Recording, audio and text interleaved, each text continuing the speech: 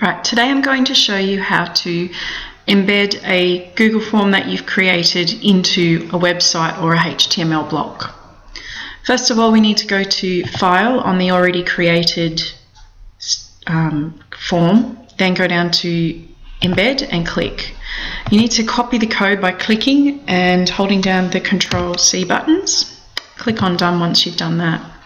Then you need to go to your place you want to put the form.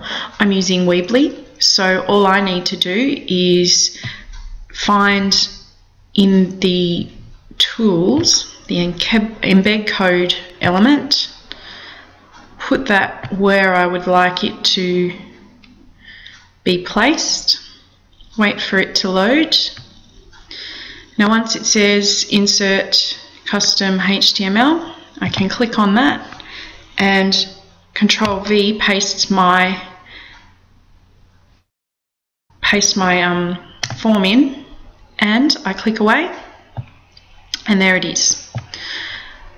The sizes of the form can be adjusted simply by clicking on clicking on the text and increasing sorry clicking on the text and increasing the size of the height of the form. So I'm going to increase that to 900.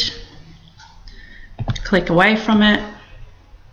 And you can see it's still not quite long enough. So I'm going to try again, making it 950.